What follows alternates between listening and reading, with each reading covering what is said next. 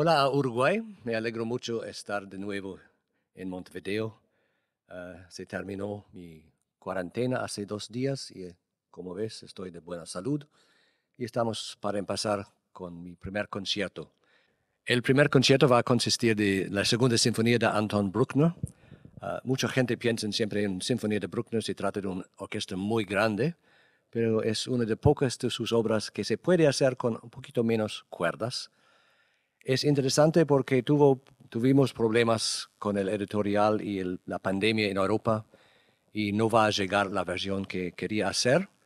Pues con ayuda de mi archivo aquí en el Sodre, eh, he hecho una versión oriental que vamos a presentar, que es una mezcla de las versiones 1872 y 77 y para mí es la versión mejor que conozco de la sinfonía. Entonces, de un, de un pequeño quilombo por transporte del material, estamos llegando a una solución aún más agradable para ustedes. Es una sinfonía entera que dura más o menos una hora. Entonces, estamos tratando de evitar intervalos por razones de salud Ah, vamos a presentarlo así. no hay ningún intervalo en el concierto.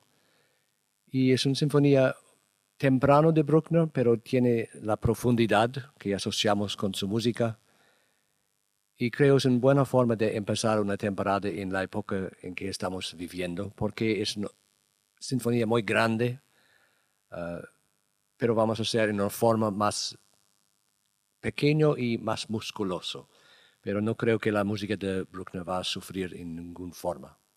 Ah, otra vez me alegro, me alegro mucho estar con ustedes y empezar con mi equipo y nuevos amigos y colegas aquí en el Sodre y nos vemos pronto. Espero que seguimos todo con buena salud y onda. Chao, hasta pronto.